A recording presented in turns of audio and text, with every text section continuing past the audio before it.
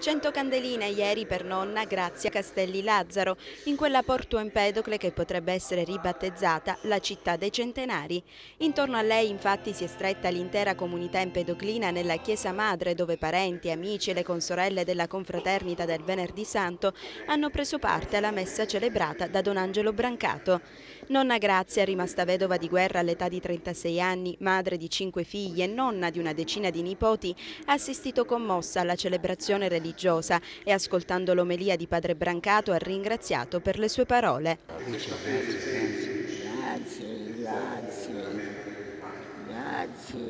A lei, come gli altri, ha voluto rendere omaggio anche il primo cittadino empedoclino, Calogero Firetto, che ha sottolineato come gli anziani centenari rappresentino una grande risorsa per tutti noi, perché la loro saggezza, il loro vissuto e la loro umiltà sono la continuità della vita.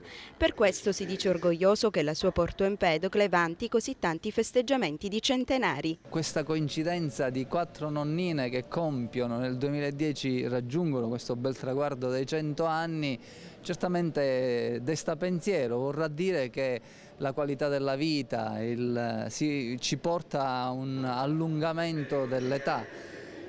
La longevità a Porto Empedocle del resto non è un fatto nuovo perché già in questi quattro anni di mandato tutti gli anni ho festeggiato assieme ai miei concittadini almeno due centenari. Quest'anno abbiamo raddoppiato con quattro centenari.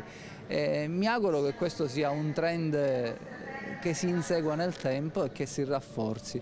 Oggi invece facciamo gli auguri a questa centenaria, alle 100 candeline che va a soffiare e gli auguriamo di soffiarne tante altre, per la gioia soprattutto dei, dei familiari, perché gli anziani all'interno di una famiglia costituiscono un momento di aggregazione e di sintesi della famiglia, arricchiscono le famiglie. Porto Empedocle si prepara infatti a festeggiare ben altre due centenarie. Il 6 novembre spegnerà 100 candeline la signora Maria Schillaci, mentre l'11 sarà la volta di nonna Elena Gangarossa.